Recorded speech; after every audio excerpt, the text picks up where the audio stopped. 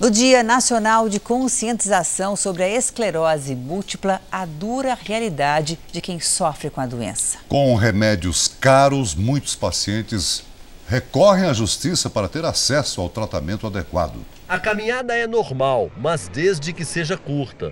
Eu caminho dois quarteirões e a perna já começa a puxar. Gilberto é um dos 30 mil brasileiros com esclerose múltipla, doença inflamatória e autoimune que ataca o sistema nervoso e provoca lesões no cérebro e na medula.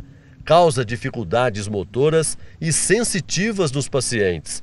Aposentado aos 35 anos, o técnico em radiologia sobrevive da solidariedade do médico que o acompanha. Eu ganho algumas amostras grátis do meu médico, que me ajuda, mas não é sempre. Como se não bastasse, exames para confirmar o diagnóstico são raros na maioria das cidades, assim como médicos especialistas no assunto. Quanto mais precocemente você inicia o tratamento, menores são as chances da pessoa desenvolver é, quadros incapacitantes, que acabam interferindo direto com a mobilidade, com, com a, a, capacidade de trabalho da pessoa. A doença não tem cura e o tratamento é caríssimo. Um comprimido diário custa 300 reais. Para quem não pode pagar, a saída tem sido o judiciário.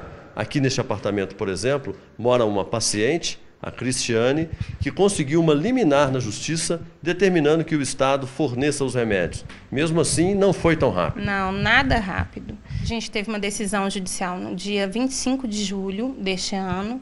E ainda assim, ontem, depois de muita luta, a gente conseguiu pegar o medicamento. O diagnóstico veio em 2012.